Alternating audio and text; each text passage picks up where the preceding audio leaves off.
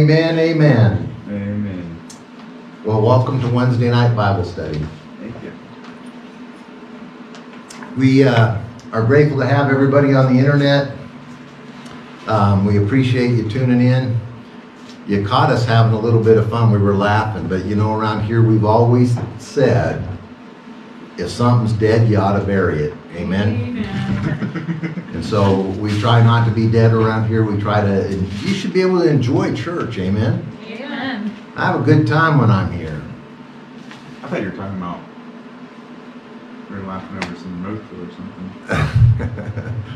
no, this guy is crazy. He's crazy. Okay, it's time to get serious because we're going to look at the Bible. Um, turn your Bibles to John chapter 4. We've been doing an expository study on John chapter 4, and the way I see it, even if the Lord tarries for 10 more years, we'll still be studying John by the time he by the time we get raptured, amen. Because we're taking our time. We're not in any uh, race. If we're in a race, we've already conceded, we've lost. Do you Um, know what we're doing after John? um, no, I have no clue what we're doing after John, because I just said it's going to last 10 years. Gotta be prepared. so, John chapter 4, look at verse uh, 28. 28. We're trying to finish up this conversation and this interaction with the woman at the well. And in verse 28, it says, The woman then left her water pot and went her way into the city and saith to the man, Come see a man which told me all things that ever I did. Is not this the Christ?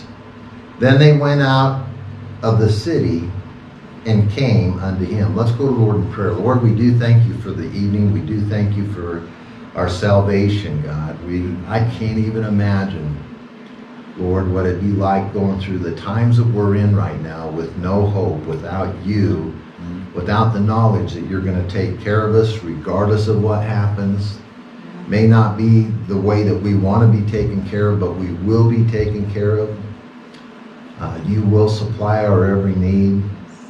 God, what a comfort to know that we're not going to have to go through the great tribulation, that we'll be raptured out before the tribulation takes place. But Lord, we do recognize we might have to have some persecution before the tribulation starts, but we also know that you'll make our hearts ready for that.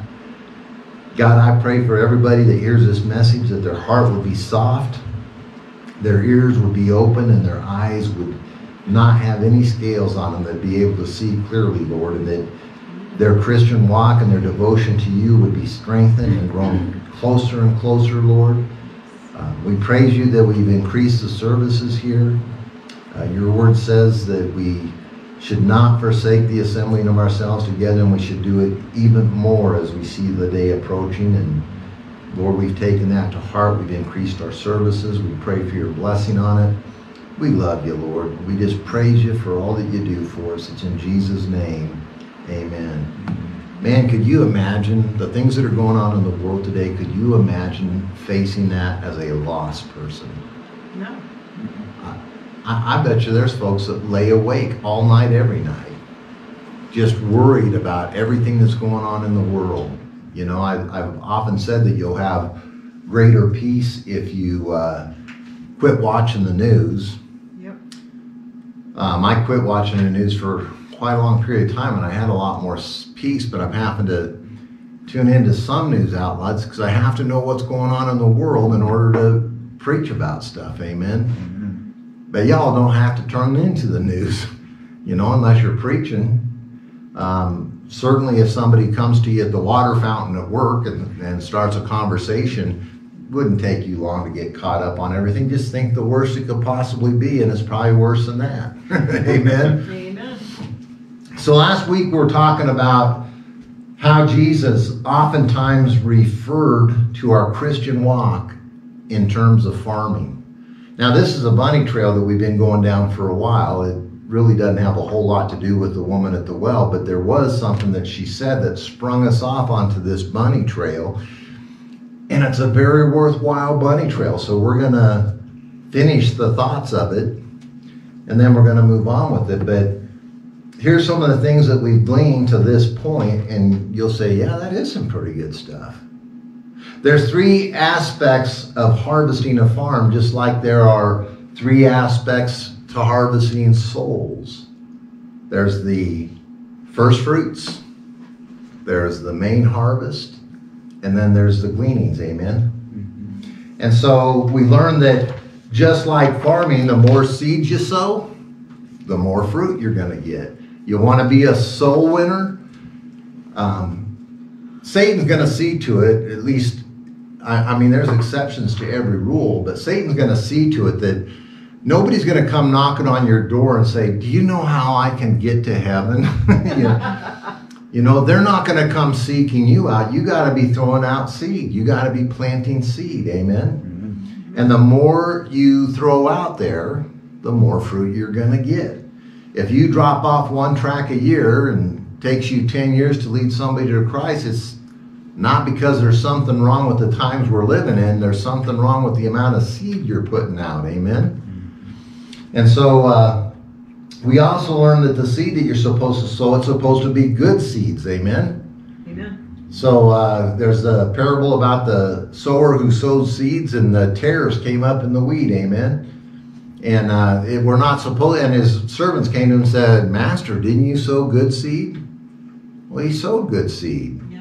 But an enemy came and threw tare seeds in with his good seed. And so how all this fits with the stuff we're studying. We have the good seed of the Word of God, which is the King James Bible, and yet the enemy's come and he's put in tares. He's put in seeds that aren't yes. the pure words of God. Amen? Amen. And which brings us to the fourth thing that we've looked at so far. The good seed was the Word of God or is the Word of God. We said that everybody is supposed to sow the good seed. Everybody. There's no exceptions to that. A lot of folks think that's the preacher's job. It's the preacher's job to win souls. And it is. You know who else's job it is? Your job.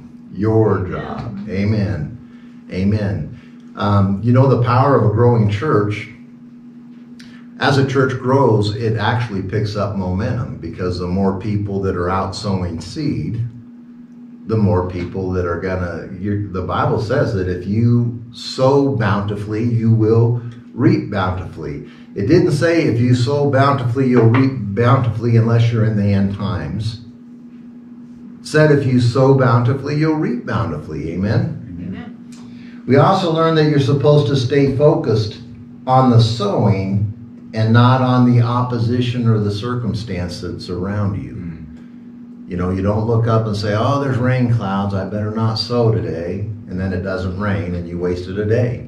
Amen. You don't look at somebody uh, and say, well, that's not fertile ground because you don't know what God's been doing in their heart. That ground could be really fertile.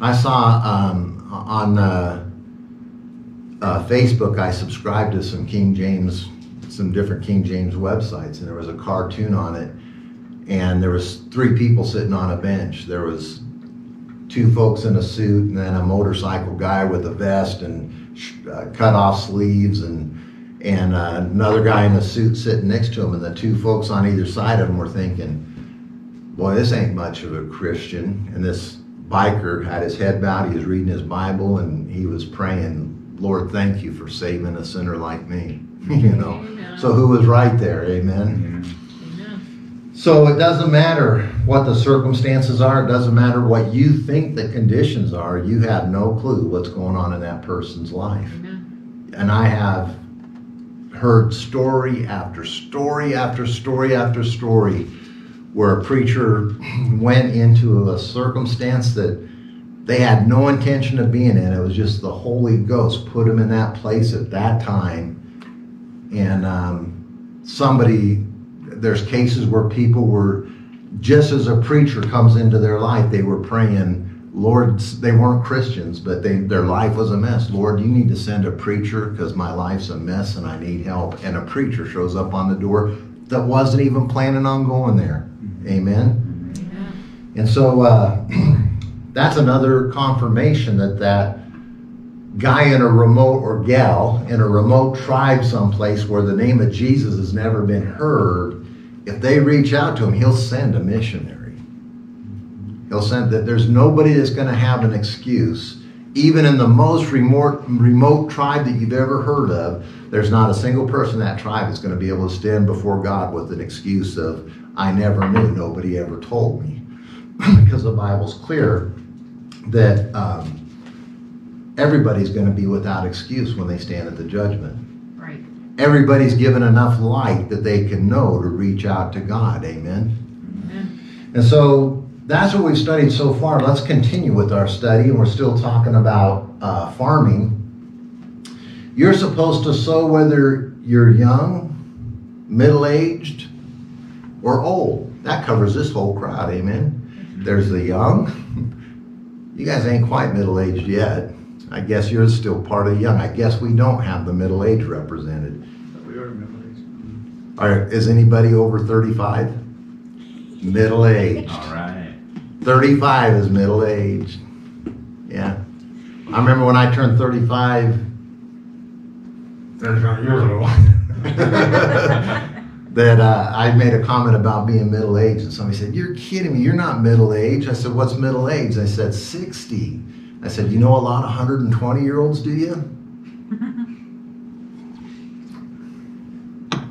Look at Ecclesiastes chapter 11. We're Bible believers here, and you know what that means? It means we look at the Bible. Mm-hmm. And some people don't like the turning in the Bible and looking, but it's not going to change. Ecclesiastes 11, look at verse 6. This tells you it doesn't matter how old you are. In the morning, sow thy seed. When you're young, sow thy seed. In the evening, withhold not thine hand, for thou knowest not whether thou shalt prosper, either this or that, or whether they both shall be alike good. See, it doesn't matter how old you are you sow that seed. And when you're old, you don't, uh, uh, in the evening, you don't withhold your hand. You still sow that seed. Amen. Amen. And uh, it's good for you. It's good for you. If you want fruit in your harvest, you need to weep over souls. You need to weep over souls. And there's a sad thing in Christianity. I think it's a really sad thing there comes a point in your Christian walk where usually when you're a fairly young Christian, it's pretty easy to weep over souls.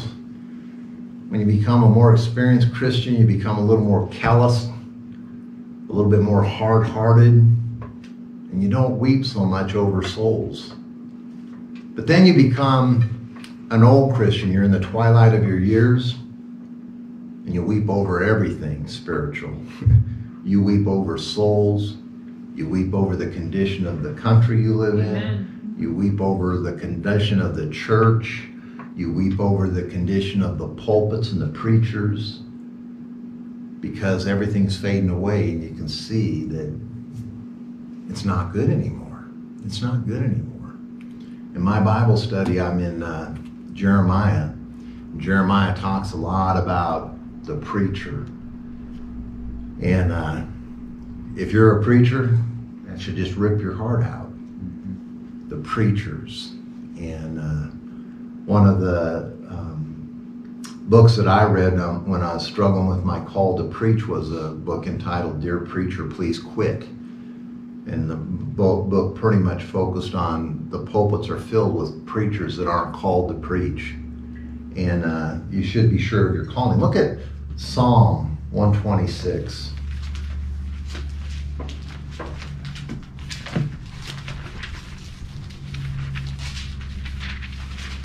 Psalm 126, look at verse 5.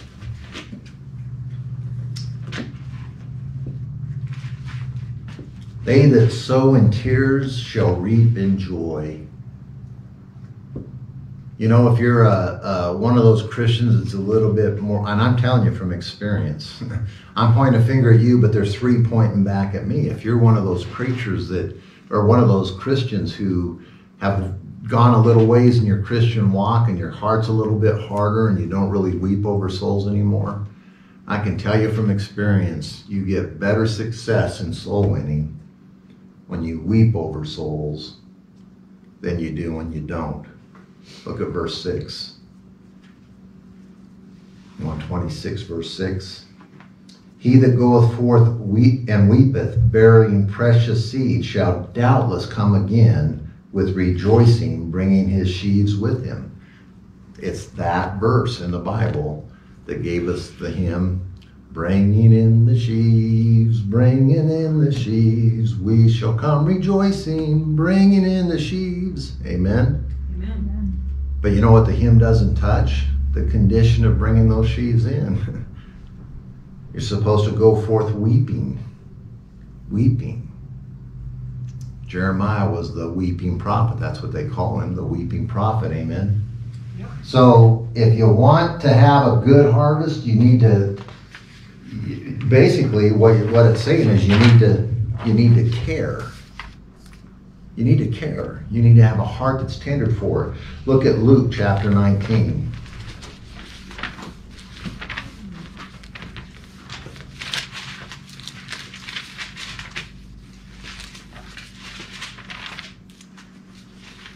Luke be having some long chapters in it, doesn't it?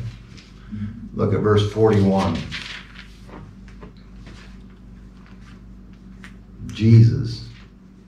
And when he was come near, he beheld the city and wept over it. We're supposed to be Christ like, right? Have you ever sat over looking your city and wept? You know, it says over there in uh, um, Jonah, they, their right hand doesn't know what their left hand does. That's the condition of those folks. They don't know. They don't know nothing. Amen. They don't they, they don't know. They think they know everything, but they don't know anything. Amen. Look at Philippians 3. I'm trying to make a point here because it's something that's missing in the Christian world right now. We don't seem to weep over the souls of men. We don't seem to have a heart that's soft towards the souls of men. I hate it when you get like five pages that are stuck together. Look at verse 18. For many walk of whom I have told you often, and now tell you even weeping, that they are the enemies of the cross of Christ. When's the last time that you witnessed to somebody and they rejected Christ and you went away weeping? You know, I I'm reading a story about Meet the Holy Spirit written by Dr. Jack Hyles and and he tells a story about he was led to the Lord to go visit somebody and he knocked on the door and the guy answered the door. First he argued with the Holy Ghost because he told the Holy Ghost, This guy's at work. This guy I know he works during the day and I know that this is part of his shift. He's not even home. And the Lord said, Go to his house, go now. And he argued, and they, as he's arguing, he's climbing in the car. Okay, Lord, I'm going, but it's a waste of time. It's a waste of gas. It's a waste of energy. He gets to the guy's house and he knocks on the door, and the guy answers the door. And Dr. Hyles said, Well, it's kind of surprised. I kind of thought you'd be at work. Now, somebody came to your house, knocked on your door, and you answered, and they said, I thought you'd be at work. Wouldn't you say, Why are you here then? that didn't take place. But, uh, he started talking to the guy about his soul, and the guy said, when he said, I thought you'd be at work, the guy said, I forgot something. I had to come home and get it, and I just had lunch while I was home. I need to get back to work right now. And he said, Well, can we just have a minute to talk about your soul? And he said, No, we can't have a minute to talk about my soul. I'm in a hurry. I need to get back to work, etc., etc. Dr. Hyles turned around, said goodbye, and climbed in his car. And the Holy Ghost just grabbed hold of his heart and he sat in his car and wept. And he went back up to the guy's house and he knocked on the door again. The guy answered the door with an angry look on his face that he, you're pestering me now. And Dr. Hyles fell at his feet and hugged his feet, bawling. And the guy said, what, What's gotten into you? What's the matter? He goes, You need to get saved, and you need to get saved today. And the guy looked down at him and he said, You really care. And he said, Of course I care. There's not a soul in the world that I'd rather see saved right now other than you. And the guy accepted Christ as a Savior. They don't care what you know until they know that you care. And we live in a society that says, hide all your emotions, man up, don't shed a tear. But there's folks that are dying. There's folks that are going to hell. And we sit quiet. And we don't do what we should be doing. And we don't cry over them. We don't weep over them. And God looks at us and he says, You cold-hearted Christian, you, you're, you're lukewarm and you're cold-hearted and you don't care. You're willing that they go to hell. We shouldn't be willing that they go to hell. Look at 1 Corinthians chapter 2. Preacher, this isn't fun. We started off having fun. It's good for us. Mm-hmm. 1 Corinthians chapter 2. It's not going to work, so I'm in 2 Corinthians. Thought I turned right to it, but I didn't. 1 Corinthians chapter 2, and look at verse 3. Paul's talking to the church at Corinth, and he says, And I was with you in weakness and in fear and in much trembling. You know why we don't want to cry? Because we think it's a sign of weakness. You know what God says about our weakness? In your weakness, I can use my strength. Amen. I can manifest myself and my power through your weakness. I'm not smart enough to lead a soul to Christ, but I've led, I don't even know how many people I've led to Christ, and I'm not smart enough to do it. I wish I'd leave more. I wish God would break every one of our hearts.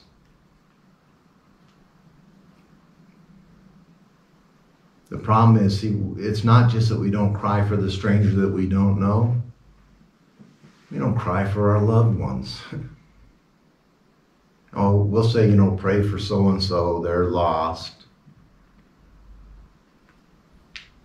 When have you got on your knees and broke down before God? Said, God, this is my relative, whatever they may be. I remember I had a bullheaded brother, and I shed so many tears over that guy's soul, and now he's a preacher. And I'm not taking any credit for it. I didn't lead him to Christ. But I sure cried over his soul. And now he's a preacher. Now, we don't line up with his church at all, but I, I believe he's saved. Mm. And I believe that he leads people to the Lord. I believe he cares about his flock. Amen. His church is way bigger than ours. I think he's running 47 people now in a little teeny, he's in a little town like we are. Running 47 people. You know, if you're going to farm, if you're going to farm for souls, because that's the context, right?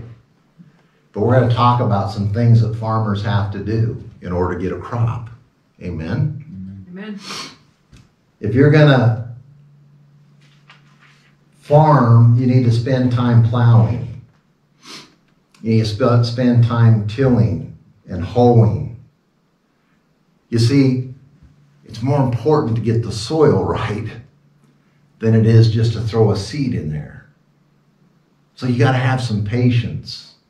You got to work with folks. You got to bring them along. You have to get that ground ready. You need to pick up the rocks that are in the way of the seed and, and you need to blast out some stumps of some trees that have fallen over and the stumps still laying there in the ground. You need to blast those out. And you need to add nutrients, you know, in, in farming times, I guess, I, I believe in organics that talk about putting fertilizer on it, but I'd say put compost on it or manure or something on it. I wouldn't say put chemical fertilizers on it. But you got to get that ground ready. Sometimes you'll have to get fruit from areas where you didn't sow.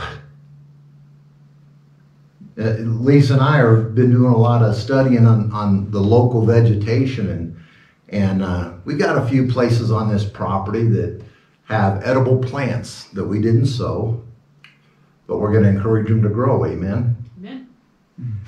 And sometimes you're going to sow a lot and you're not going to get any fruit.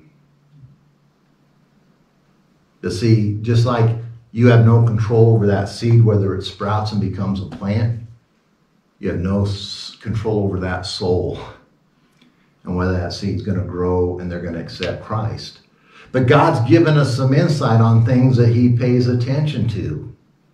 If you care, if you cry, if you're watering that seed with your tears, God likes that.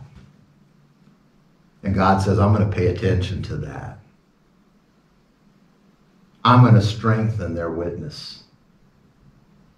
I'm going to make the people around them take notice of them. You better live right too, because people will take notice of you. But here's the wonderful thing: if you're so, if you're sowing in tears, and you fall down in front of the folks you're trying to witness to and do something wrong, oftentimes God just kind of puts a shield there and they don't even see it.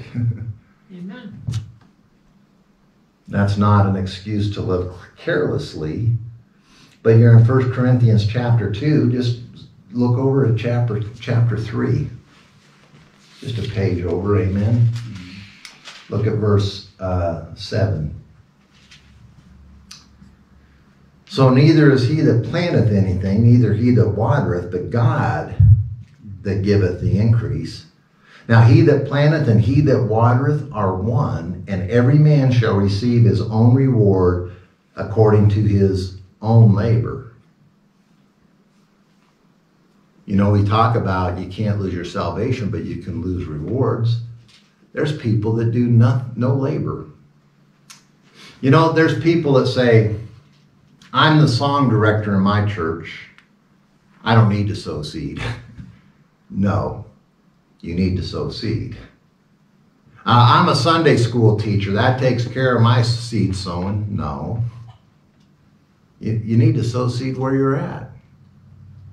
It's easier when you know people. And to have friends, one must show himself friendly. Amen. Amen. So you'll get, you'll also get some, uh, your reaping comes at the judgment seat of Christ, the rewards that you get. Look at Galatians chapter 6. Galatians chapter 6. Some folks say, man, I, I've witnessed a lot and I've never seen anything and I don't get any rewards. And well, your reward comes at the judgment seat of Christ. Look at Galatians chi- 6, look at verse 8. It says, For he that soweth to his flesh shall of the flesh reap corruption, but he that soweth to the Spirit shall of the Spirit reap life everlasting. And so when you're sowing that seed, it's spiritual seed. You're sowing to your spirit and you're sowing to the spirit of those that you're planting the seed in. Amen. Amen. So the the reaping of your rewards for the most part comes at the judgment seat of Christ, but you're also going to get some reaping down here as well. Go back to John chapter 4. Look at verse 36.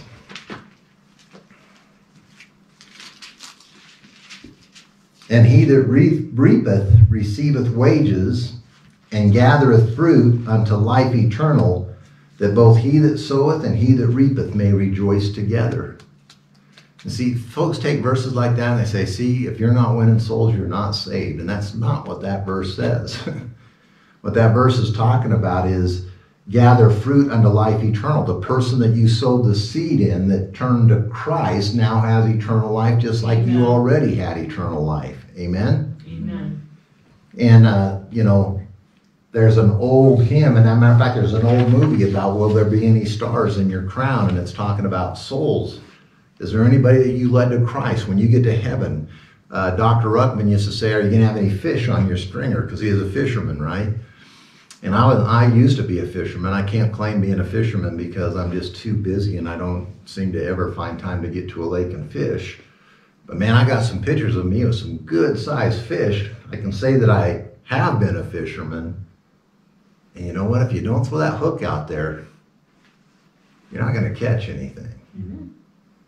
I've never once, in all the time that I fished, and I fished for years back when I was in the military, um, if I wasn't on base working, I was fishing or sweeping. Uh, I fished all the time. Now, I have caught a fish with my bare hands sneaking up on it in a creek. I never thought I could do it. And as I'm getting close down there to grab that thing, I'm thinking it must be dead. But as soon as I got my fingers around it, it started wiggling. It, I don't know if it was asleep or what, but I've never in all my time fishing had a fish swim up to the bank and said, Here I am, just take me. Got to put some effort into it, amen? Yep.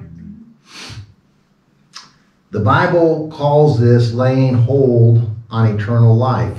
Look at 1 Timothy chapter 6. I know we're looking at a lot of Bible tonight, but you know what? This subject is probably the second most important subject in your Christian walk. The first one is what got you saved. Now you're supposed to. I like the old preacher used to say, a church is just one beggar that goes out and shows another beggar where their bread is. Amen. Amen. So, 1 Timothy chapter 6, look at verse 19. Laying up in store for themselves a good foundation against the time to come, that they may lay hold on eternal life. Man, that's some good stuff. All this is good stuff. But there's even more. There's even more. There's going to be creatures such as bugs and animals that are in your garden, in your planting, that uh, mess up your garden. There's going to be rodents, bugs. I, I cut my teeth at preaching at a rescue mission. And uh, the one of the first rescue missions that I've ever preached in was Boise Rescue Mission. And and um, the way Boise Rescue Mission was set up, it was like a three-fourth wall that went up there, and there was about a two-foot space between the kitchen and the. And so when they started serving food, the smell of that food came up over the top of that wall, and you may as well just shut down because those folks aren't thinking about spiritual food. They're these folks are hungry. They're homeless. And so what I would do when I went there and preached, as soon as I got the whiff of the food, I would wrap up wherever I was and tell the folks, hey, I'm just going to stick around. We talked about your soul. I'm just going to stick around. And when you're done having your meal, I'll still be here. If you want to come and, and talk about your soul, I'll be here.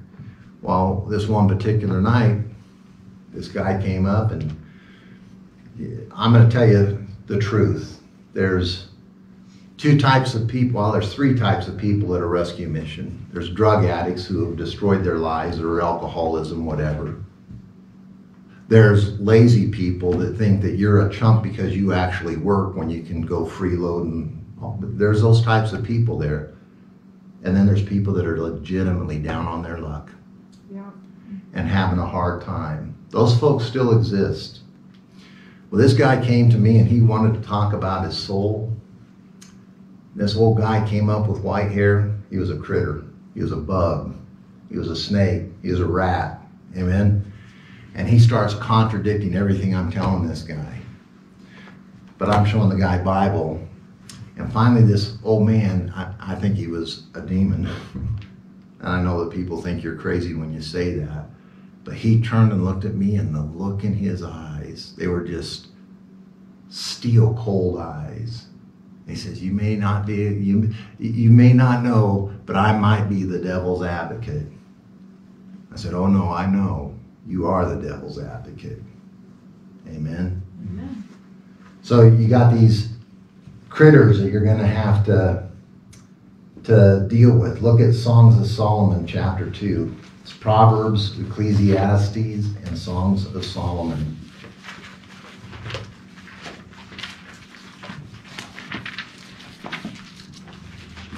Look at chapter 2 and verse 15.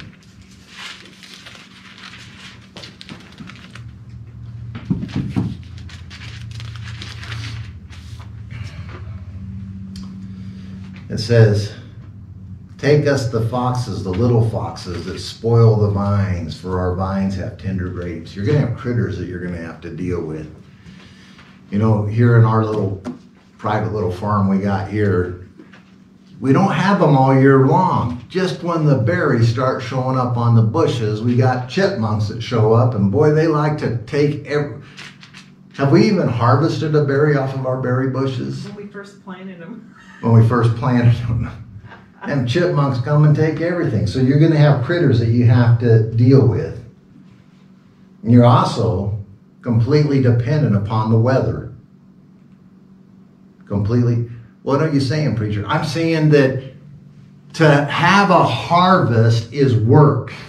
Yes. You have to deal with all kinds of stuff. Amen. Amen. So weather is something that you're you're completely look at Amos. So you're uh, go to Ezekiel, Daniel, Hosea, Joel, and Amos.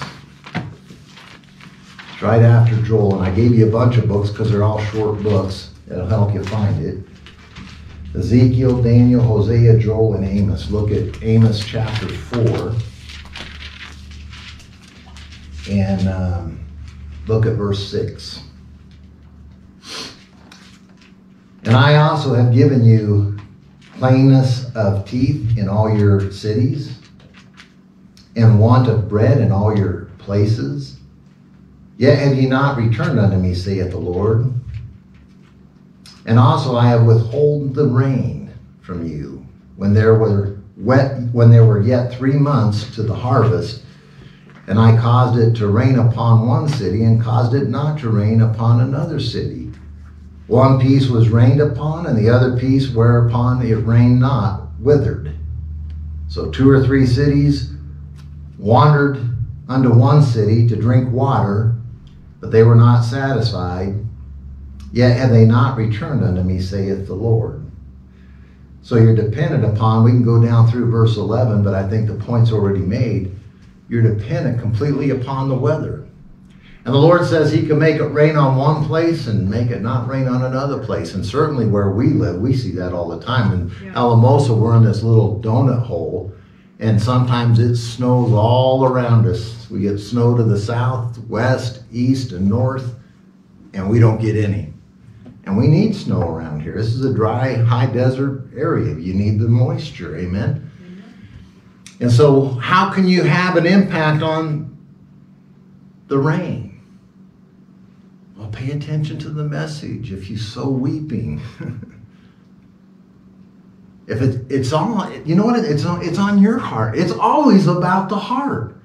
It's about the heart of the guy you're witnessing to, or the gal that you're witnessing to, or the child that you're witnessing to, and it's about your heart too. And your heart can have an impact on their heart. Mm-hmm. Because if they see that you really care, it touches somebody when somebody, especially in the time that we live in, if you pick up on somebody that legitimately cares about you, it touches your heart. Your heart might make your heart soft where it was hard. It's good stuff, isn't it? Amen. As our text in John 4:35 says, we have to lift up our eyes. We have to lift up our eyes. Maybe this gives some added meaning to Proverbs 29:18 where it says, "Where there is no vision, the people perish." If you don't have a vision for souls, everybody around you is going to perish. You got to have a vision. Where there's no vision, the people perish. So you have false preachers in pulpits all across the country that are trying to get this ecumenical garbage going and let's have a love fest with the Catholic Church. Today I watched a female preacher that said, if we just put aside doctrine, we'll lead, we'll uh, convert 10 times the souls that we're doing by all this arguing on doctrine. And you want to know the truth of the matter is, if you throw out doctrine, you're not going to lead one soul to Christ. You may have a really nice social club, and you may have really high numbers in your church, but none of them are saved. And a preacher's called to feed the sheep, not herd the goats. Amen? Amen. So where there's no vision, the people perish. Let's go back to John chapter 4. John chapter 4. I can tell you what, I, I truly enjoyed putting this message together this week. I needed it. Mm. I needed it. According to verses 37 and 38, you are working the field with other workers. Look at that, verse 37 and 38. And herein is Satan, one soweth and another reapeth. I sent you to reap that whereupon ye bestowed no labor, other man labored, and ye are entered into their labors. Isn't that something? Mhm. So you're you're going to sow seeds that other folks are going to reap. Some other folks are going to sow seeds that you reap. And the Bible, we've already gone over it. It's neither the person that sows or the people that waters. God provides the increase, right? Yes. When you consider some of the parables that Jesus gave you, you're going to figure out that you get paid for your work. You're not going to get money from somebody else's work, and I'm just using money as an example. I'm, I don't think he's going to pay us with money. I don't think you're going to get to heaven. He's going to say, "Here's ten bucks. Go buy a candy bar." You know, I don't think it works that way. You get paid for what you do. And if you want an example of that, we're not going to go read it, but go read Matthew 20. Just read the whole chapter. You get paid for what you do. You will not get paid for what somebody else did. Look at 2 Corinthians chapter 10.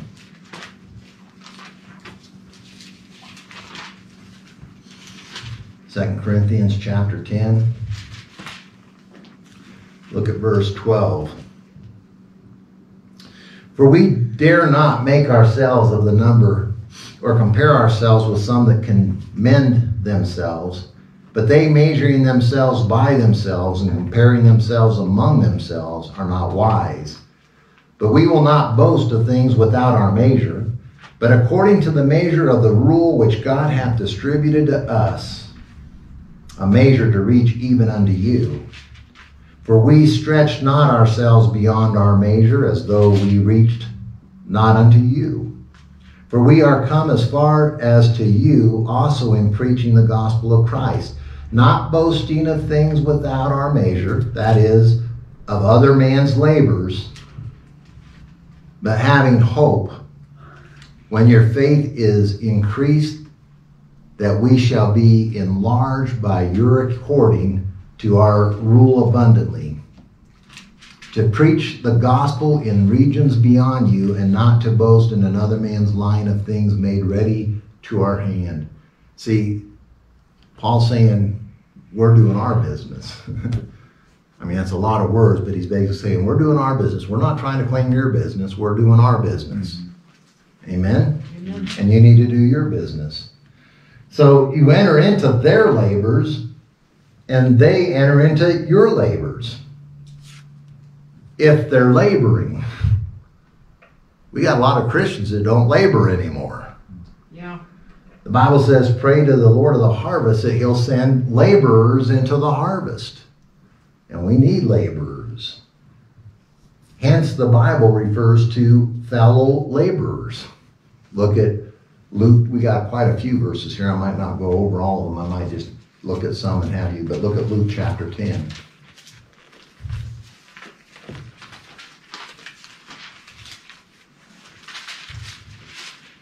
Luke chapter 10 and look at verse 2. Therefore said he unto them, The harvest is truly great, but the laborers are few. Pray ye therefore the Lord of the harvest that he would send forth laborers into his harvest. Um, I'm just going to give you some other references because I want to cover more ground tonight. But if, if you're interested, Matthew chapter 9, verse 27 and 28. 1 Corinthians chapter 3, verse 9. If I'm going too fast, just say slow down. Philippians 4 3. And let's look at 1 Thessalonians, 1 Thessalonians 3 in verse 2. Here's an example of Paul practicing what he preached. And sent Timo- Timotheus, our brother and minister of God, and our fellow laborer in the gospel of Christ, to establish you and to comfort you concerning your faith. So a lot of those verses are where Paul's sending somebody. Mm-hmm. Laborers, fellow laborers. Paul makes reference to fellow laborers. Amen. So in farming, sometimes you have to thin out the plants. I don't know if any of you have ever planted carrots before, mm-hmm. but carrot seeds are really little. And you plant them and they get way too close to each other. And so as they start coming up, you got, if you want some decent sized carrots, you got to thin them things out. Amen. Amen. Sometimes you have to ensure the ground is fertile. Sometimes there's too much acid, sometimes too much nitrogen. The plants can get too much water, or they can get not enough water. Sometimes the temperature is too hot, sometimes it's not hot enough. There's a lot of stuff to this farming thing, isn't there? Mm-hmm. There are so many things that can get in the way of somebody coming to Christ. The devil, actually, if you look at it through human eyes, he has the upper hand. He has three million ways. God gives one way. Jesus says, I am the way, the truth, and the life. No man cometh to the Father but by me. And the devil gives you three million ways. In the world right now, everybody's jumping onto all those different ways. And let's just throw away doctrine. Amen. And we're never going to throw away doctrine. God will have to take us home. Too much acid, not enough nitrogen, too much nitrogen. Bad early frost, bad late frost, too much wind, too much water, not enough water, too much lime, not enough sunlight, too high temperatures, too cool at night, not enough potassium, uh, manure was too hot, not enough mulch, blossom rot, black rot, end rot, and on and on and on it goes. Amen? Amen. So, what's the solution for us? Pay attention to the Holy Ghost. Pay attention to the Holy Ghost. Learn to listen to the Holy Ghost's voice. He talks to Christians, He leads us. The Bible says He'll lead us into all truth. If He's going to lead us into all truth, do you think He's working on the hearts of men, even lost men? And do you think He knows how to lead us to somebody that needs to hear the gospel message? But we listen to ourselves and we use our intellect. And so sometimes we come and we throw a bunch of water on something where there's already been enough water, and now there's too much water. You see, there comes a point when you're no longer witnessing, you're nagging somebody. And what do they do when they sense that? They dig in their heels, they don't want to listen. You can't force somebody to get saved. And when they sense that you're trying to force them, you know what the impression is? It's no longer that you care. Oh, you want a notch in your gun. You want to be able to say you led somebody to Christ. And Christians have earned that reputation. Whether we like it or whether we don't like it, we've kind of earned that reputation. So we come, some a plant's got two inches of water standing around it, and we say, We're gonna water, and we dump a bucket of water on it. And the plant says, I'm drowning here. I'm drowning. But the Holy Ghost will lead you into the right thing to do. If you need to pull some of that water out, the Holy Ghost will lead you into pulling some of the water out. You should ask the Holy Ghost to help you recognize when He is speaking. Listen to Him. Sometimes it's a good idea just to plant the seed and leave it be. Don't keep hassling the person, don't keep harassing the person. Plant it and let it be until the Holy Ghost says, the ground's getting a little dry, you need to go put a little bit of water on it. Then listen to the Holy Ghost and go put a little water on it. Amen. Amen. While those who sow abundantly will reap abundantly, it's also true that you can heap too much on one person. And oftentimes that's somebody that's a loved one.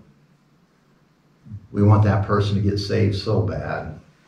We don't want to watch them get tossed into hell. And so we just want to strong arm them, force them into salvation. You know, this, this preacher has a burden for second generation Christians because if a child makes a decision for salvation based on pressure from parents, you know why you get saved? Because you're a sinner that's headed for hell. If a kid gets saved because that's what mom and dad wants them to do, they didn't get saved at all.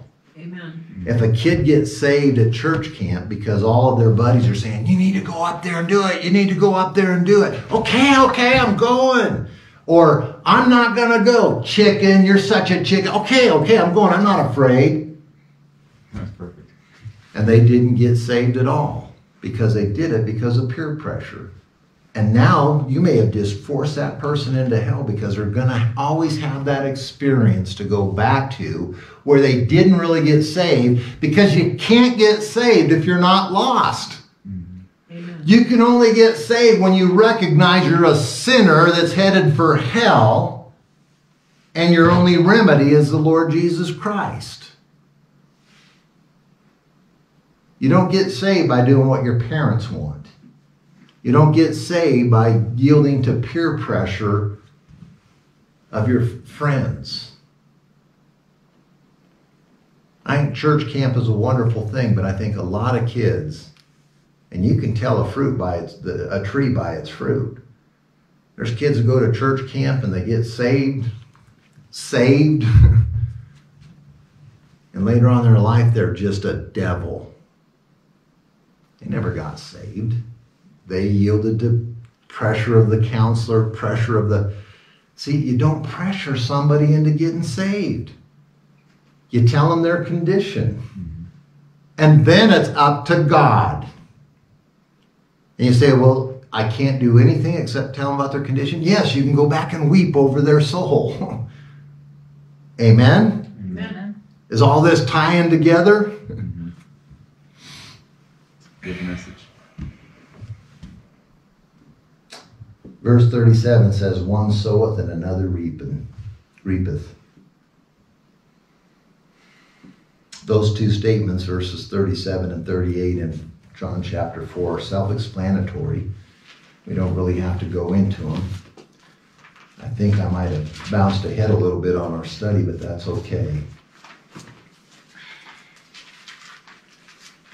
Another um, cross reference for that for verses 37 and 38, if you want to mark it down, is Matthew 21 28. Basically, go work today in my vineyard. Amen. Amen. So now let's look at, uh, well, why don't we save that for next week? I think we're out of time. We'll save that for next week.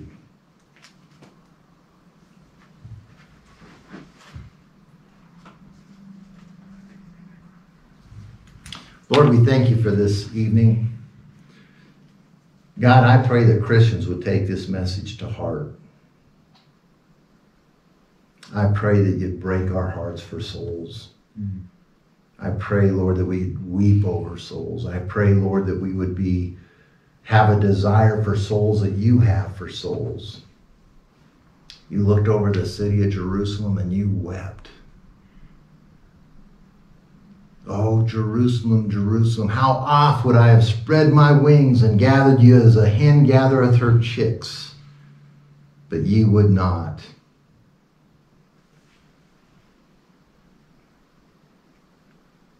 I think of Alamosa.